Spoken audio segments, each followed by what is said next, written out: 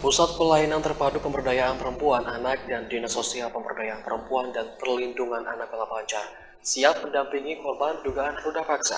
Salah satu bentuk pendampingannya, pihak keluarga bersama P2TP2A telah melaporkan kejadian tersebut ke unit PPA Satreskrim Polres Banjar.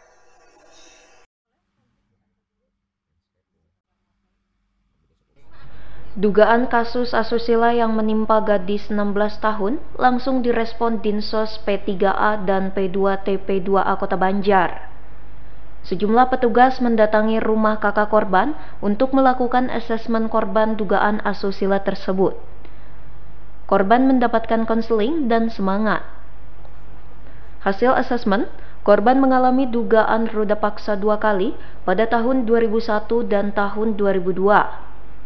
Korban mendapatkan ancaman kakak iparnya sehingga takut melaporkan kejadian tersebut ke kakak kandungnya.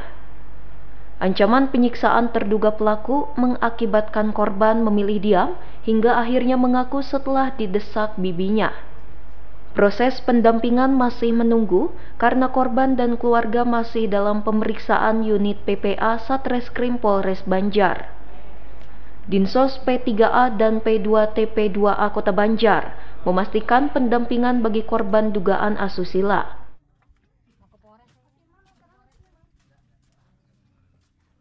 Kami sudah melaksanakan asesmen bersama tim TP2PA hmm. bersama pengacara Bu Nopa hmm. dan tim dari kami dari dinas atas seizin Bu Kadis hmm. kami melaksanakan asesmen dan barusan kami sudah melaksanakan melakukan wawancara untuk pendampingannya kami menunggu uh, surat dari bidang PP dari Polres ya untuk melaksanakan pendampingan.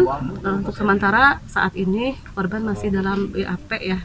Korban keluarga dan uh, korbannya sendiri masih dalam uh, proses BAP hmm. dan kita pasti dampingi terus. Salah satu bentuk dalam pendampingan hukum, P2TP2A Kota Banjar juga melanjutkan proses hukum terkait dugaan kasus asusila tersebut. Agar korban bisa tenang dan mendapatkan keadilan. Ya, dalam proses hukum ini kita sudah membuat laporan polisi. Nah, tindak lanjutnya hari ini adalah pemeriksaan.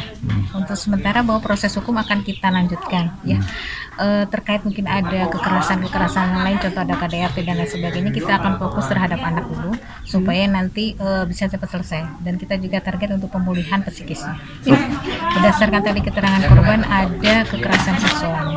Kejadian sudah yang kedua kali ya dari tahun 2021 dan ini kejadian yang kedua. Kenapa yang pertama tidak melakukan uh, laporan yang korban ini karena ada ancaman. Oh, ancamannya uh, jangan dikasih tahu nanti akan disiksa. Sementara itu, pendampingan trauma healing masih menunggu hasil pendampingan korban dari unit PPA Satreskrim Polres Banjar. Selain itu, kelanjutan proses kegiatan belajar korban akan dibahas dengan pihak sekolah. Dari Kota Banjar, Sukirman Radar TV melaporkan.